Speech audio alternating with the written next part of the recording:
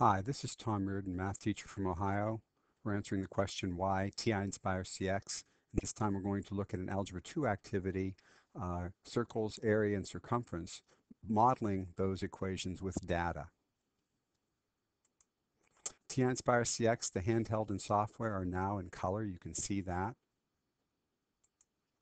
Why TI Nspire CX?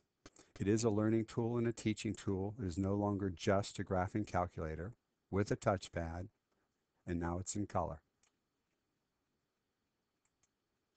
Students often have a difficult time understanding the area and circumference, circumference formulas for circles. With TI Nspire CX, students can verify these formulas for themselves. Watch. We will be simulating or emulating what the student would be doing with the software, but whatever I do here can be done with the handheld, just as you see pictured here. This is uh, an activity called circle, circle area circumference. Students would click on this and they'll be given the directions on what to do to the next page. So we're going to be asked to grab the endpoint of the radius of this circle. So we're going to go ahead and do that and grab this endpoint and pull it and watch what happens. As you can see, if I make it smaller and larger, it populates the table. It also populates the graph with ordered pairs. And you can see that this data is going to be linear.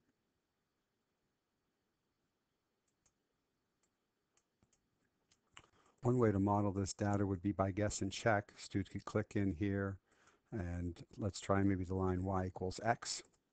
It's graphed in green here. And then using the power of Nspire, you can grab the uh, graph itself. So I can grab this line, I can pull it and rotate it and try to approximate about what would uh, be a good equation for this. About 6.25x looks pretty good. And of course, a student would, would finally, hopefully, somebody would come up with the fact that really it's not 6.25, it's really 2 pi. So we can go ahead and try 2 pi. And that would match that perfectly. A way to show that it matches perfectly would be go back to the, the spreadsheet here, and in here type in equals F1 is where we had that equation of and I think we called that radius, so I'm not sure. So let me press the var key, and it was radius, and press enter. And you can see that these values here are perfect. These are not approximate values, these are perfect values. And that really sells the student on realizing. And they can see why it should be that. X is the radius, 2 pi r is the formula for, formula for circumference, so 2 pi x should match the data. It really reinforces that. On the next page, the student has the directions for uh, talking about this time the area. So we'll go to a similar picture. Again, go and grab this point and pull it. As we do this, the radius and the area are being plotted as ordered pairs and populating the table there to the left. This time, of course, we have a parabola. And so the student would say, well, let's try y equals x squared.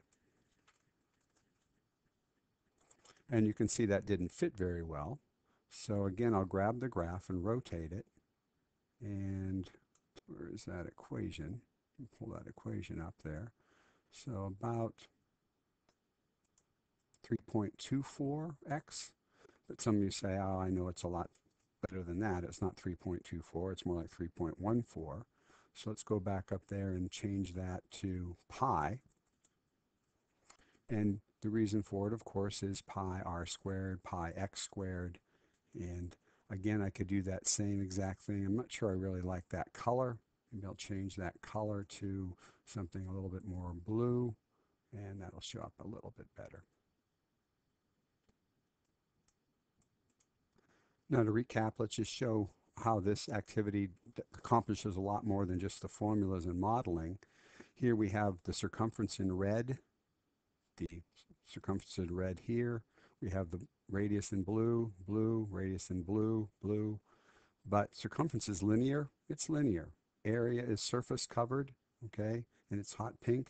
And so we're trying to show the difference between area and circumference because kids have a hard time with that. But also we're reinforcing the formula for circumference and the formula for area. This is a very, very powerful way of, of bringing together geometry and algebra um, talking about modeling, and the students are then sometimes pleasantly surprised that the formulas are what they are. This is the end of the video. video.